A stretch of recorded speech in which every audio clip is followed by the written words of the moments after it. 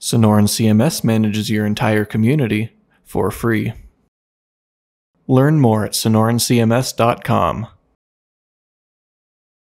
To invite users to your CMS community, you will first need to know your community ID.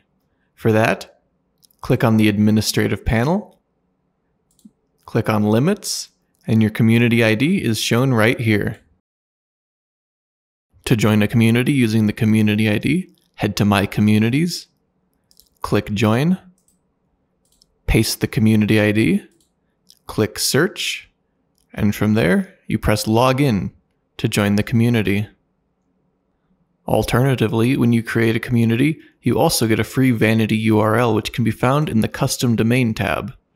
By default, it is your community ID.sonorancms.com, although with a pro subscription you can get your own custom domain. To join a community using the URL, simply type in or paste the URL into your browser. It might take a couple seconds to load, and click Join. From there, you'll have successfully joined the community.